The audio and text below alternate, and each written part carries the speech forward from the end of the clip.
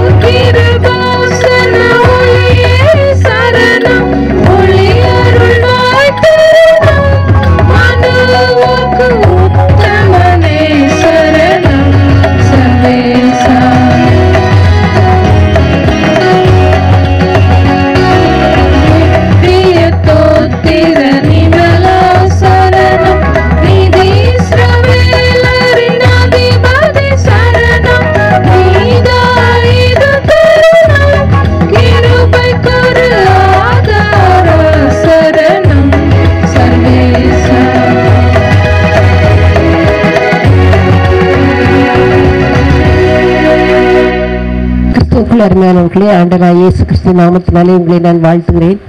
Emmanuel விசுவாச ஒளிங்கள் சார்பிலே ஆண்டோடைய வசனங்களை நாம் தியானித்து வருகிறோம். இன்றைய தினத்திலும் கூட இந்த நூற்றி ஐம்பத்தி ஆறாவது வாரத்திலும் கூட ஆண்டோடைய கிருபையினாலே சங்கீதம் நூற்றி நாற்பத்தி மூன்று மூன்றை ஆண்டுடைய கிருபையினாலே நாம் தியானிக்க இருக்கிறோம். அவளை ஏற்று செயல்படத்தக்கதாக நம்முடைய வாழ்க்கைக்கு பிரயோஜனமாக அமைத்துக் கொள்ளத்தக்கதாக கத்தர் உதவி செய்வாராக. இந்த நாளின் வசனம் சங்கீதம் நூற்றி நாற்பத்தி ஏழு மூன்று. சங்கீதம் நூற்றி நாற்பத்தி ஏழு மூன்று. கத்தர் இருதயம் நெருங்குள்ளவர்களை குணமாக்குகிறார் அவருடைய காயங்களை கட்டுகிறார். கத்தர் இருதயம் நொறுங்குள்ளவர்களை குணமாக்குகிறார் அவருடைய காயங்களை கட்டுகிறார்.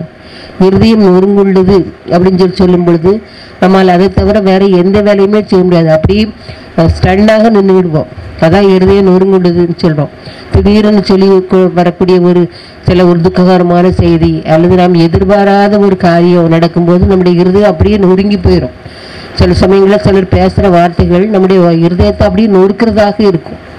அதான் இருதயம் நொறுங்குண்டவர்கள் சொல்லி சொல்லப்பட்டது இப்போ ஆண்டவர் என்ன செய்கிறாரா இப்படி கர்த்தர் இருதயம் நொறுங்குண்டவர்களையும் குணமாக்குகிறார். அதை சரி பண்ணுகிறார் மனுஷரால எல்லாருடைய இருதயங்களையும் இந்த நொறுங்குண்ட வேதனை உள்ள இருதயத்தை சரி பண்ணவே முடியாது. அந்த மனுஷன்ட்ட நம்ம திரும்ப பேசவும் கூட முடியாது. இப்போ அநேக நேரங்களில் இந்த இருதய நொறுங்குண்டவர்கள் என்ன செய்வாங்க? தற்கொலைக்கு நேராக தங்களை ஈடுபடுத்திக் கொள்வார்கள். ஏன்னா யார்ட்டையும் போய் சொல்ல முடியாது. அவ்வளவு வேதனை தாங்க முடியாத வேதனை. இன்னார் இப்படி பேசிட்டாங்க இப்படி பேசிட்டாங்க நாம விரும்பினவங்க இப்படி பேசிட்டாங்க இப்படி நமக்கு நடந்துட்டுன்னு சொல்லி அதிக வேதனைப்படுகிற காரியங்கள் அநேகமாக அந்த உலகத்துல நமக்கு என்ன செய்யுது நடக்க தான் செய்யுது பாருங்க அப்படி இருக்கும்போது அந்த இருதயம் நொடுங்கும் போது பயங்கரமான வேதனை மட்டும் இல்லாம ஒரு நடுக்கம் ஒரு பயம். அடுத்து என்ன செய்வதுங்கிற ஒரு நிலைமை இல்லாதபடிக்கு நம்ம அவ்வளவு கஷ்டப்படுறவர்களாக நம்ம இருப்போம். அநேக நேரங்களில் நம்ம சுற்றியுள்ளவங்க பேசும்பொழுது உங்களுடைய வார்த்தைகள் நம்ம அதிகமாக குத்தக்கூடியதாக இருக்கும். அது நாக்குன்னு சொல்ல முடியாது கொடுக்குன்னு சொல்லலாம். அந்த ஒரு தேள் கொடுக்குனால கொடுச்சுன்னா எப்படி வலிக்குமோ அப்படி வலிக்கக்கூடியதாக இருக்கும். அதை அந்த வேதத்தில் ஒரு வார்த்தை சொல்லப்பட்டிருக்கிறது பட்டைய குத்துகள் போல் பேசுகிறவர்களும் உண்டு. பட்டய குத்துகள்னா பட்டையை தத்தி நம்ம இருதயத்துல குத்துனா நம்மளுடைய மேலே குத்துனா எவ்வளோ வலிக்கும்? அப்படி பேசுகிறவங்களும் இருக்க தான் செய்கிறாங்க அப்படின்னு சொல்லி வேதமே என்ன செய்யறது சொல்லுகிறார். அருமையானவளே ஆனா அப்படிப்பட்ட வேதனைகளை ஏற்படுத்திட்டு சிலர் ஒண்ணுமே நடக்காத மாதிரி என்ன செய்வாங்க இருப்பாங்க. ஆனா ஆண்டவர் சொல்ற ஆண்டவர் என்ன செய்யறாரா இருதயம் நறுங்குண்டவர்களை என்ன செய்யறாங்களா அவர் நொறுங்குண்டவர்களை அவர் என்ன செய்யறாராம் குடமாக்குறவர். இருதய நொறுங்குண்டவர்களை அவர் புறக்கணியார்னு சொல்லி வேதத்துல ஒரு வசனம் என்ன செய்து இருக்குது? இப்போ அவங்களுடைய வேதனைகள் அநேகமாக இருக்கலாம். அவர் பக்கத்தில் உள்ளவங்களாக இருக்கலாம் அல்லது உங்களுடைய சொந்த உடன்பிறப்புகளாக இருக்கலாம் அல்லது ஒருவேளை நீங்கள் பெற்ற பிள்ளைகளாக இருக்கலாம் அல்லது உங்களுடைய சொந்த பெற்றோராக இருக்கலாம். யாராக இருந்தாலும் சொல்லலாம் மனிதர்கள் எல்லாம் மாறக்கூடியவர்கள் தான். உறவுகள் எல்லாமே போலியானதாக தான் அந்த காலங்களில் என்ன செய்து அநேகமாக இருக்கக்கூடியதாக இருக்குது. அப்போ நொறுங்கிக் கொண்டு இருக்கிற உங்கள் இருதயங்களை ஆற்றக்கூடிய ஒரு வல்லமை தேவநாயகத்திற்கு உண்டு என்பதை நீங்கள் புரிந்து கொள்ள வேண்டும். நீங்கள் அறிந்து கொள்ள வேண்டும் என்பதற்காகத்தான் இந்த நாளில் ஆண்டவர் இந்த வசனத்தை உங்களுக்கு என்ன செய்கிறார் தாரார். அருமையானவர்களே உலகம் உங்களை தள்ளி வச்சிருக்கலாம். மற்ற மக்கள் மனிதர்கள் தள்ளி வச்சிருக்கலாம். உங்களுக்கு உனக்கு படிப்பு இல்லை. அல்லது நீங்கள் போகிற இடங்களில் உங்களுக்கு படிப்பு இல்லை. அல்லது உங்களுக்கு பணம் இல்லைன்னு சொல்லி உங்களை வெறுத்து ஒதுக்கிருக்கலாம் அது நிமித்தமாக நீங்கள் அவமானங்களை சந்தித்திருக்கலாம். ஆனாலும் ஆண்டவர் உங்களை நேசிக்கிறார். உங்களுடைய காயங்களை எல்லாம் உங்களுடைய வேதனைகள் எல்லாம் அவர் மாற்றுகிறார். அருமையானவர்களே அவர் என்ன செய்யறார் அவருடைய காயங்களை கட்டுகிறார். காயங்கள்லாம் உட உடலில் ஏற்படக்கூடிய காயங்கள் மட்டும் இல்லை. உடலில் ஏற்படக்கூடிய காயங்கள் கூட அநேகம் இருக்குது அது ஒருவேளை ஆப்ரேஷனால் ஏற்பட்டதெல்லாம் இருக்கலாம் அல்லது விபத்தினால் ஏற்பட்டதாக இருக்கலாம் எல்லா காரியங்களையும் எல்லா காயங்களும் அவர் என்ன செய்கிறாராம் கட்டுறாராம் இசைக்கையில் சொல்லப்பட்டிருக்குது அவர் நசல் கொண்டதுகளையும் என்ன செய்யறாராம் குணமாக்குறாராம் ஆட்டுக்குட்டிகளை மேய்ச்சிட்டு போகும்போது ஒரு மேய்ப்பர் என்ன செய்வான்? ஒரு ஒரு ஆட்டுக்குட்டிக்கோ ஒரு ஆட்டுக்கோ அது ஒரு நோய் ஏற்பட்டுச்சுன்னா அதில் கால் நடக்க முடியாம இருந்துச்சுன்னா அதுக்கு ஏதாவது இருந்துச்சுன்னா என்ன செய்வான் தோலை தீ போட்டு அது அதுபோல கத்தராகி ஆண்டவர் இயேசு கிறிஸ்து என்ன செய்கிறாரு உங்களுடைய இருதயங்களுடைய நொறுங்கல் போய் கிடந்துச்சுன்னா அது என்ன செய்கிறாரு ஆற்றுகிறார் தேற்றுகிறார். உங்களுக்கு நல்வாழ்வு அளிக்கிறதுக்கு அவர் தயாராக என்ன செய்றாரு? இருக்கிறார். இறைமா முப்பது பதினேழுல போட்டுக்கு பாருங்க. அவர்கள் அவர்கள் உன்னை விசாரிப்பதற்கு தீதோன் என்று சொல்லி உனக்கு உன்னை தள்ளுடர்கள் என்று பெயரிட்டபடியால் நான் உனக்கு ஆரோக்கியம் வரப்பண்ணி உன் காயங்களை ஆற்றுவேன் என்று கத்த சொல்கிறார். உலகத்தில் உள்ளவங்க எல்லாரும் உங்களை தள்ளி விட்டுலாம் நீ நல்லவே இல்லை நீ மோசமானது நீ படிக்கல உனக்கு பணம் இல்லை நீ ஏழையா இருக்கா எங்கள் மத்தியில வராத எங்கிட்ட பேசாதன்னு சொல்லி உங்களை தள்ளி விட்ட போதிலும் கூட ஆண்டவர் என்ன செய்கிறாராம் நான் உன்னை என்ன செய்வேன்? சீயோன்னு சொல்லி எனக்கு பிடித்தமானவன்னு சொல்லி உன்னை நான் என்ன செய்ய வேண்டிய காயங்களை கற்றுவேன் இந்த உலகத்துல. நான் என்ன செய்ய முயற்சி வைப்பேன் என்று சொல்லி சொல்கிறார். அதனால கர்த்தர் இறுதியில் ஒரு முள்ளவர்களை குணமாக்குறவராக இருக்கிறபடினாலே எல்லாருடைய காயங்களையும் கட்டுகளா இருக்கிறபடினாலே நீங்கள் எந்த விதத்திலையும் வேதனைப்பட வேண்டிய அவசியமே இல்லை. உங்களை நீங்களே அஹ், கெடுத்துக் கொள்ள வேண்டிய அவசியமே இல்லை.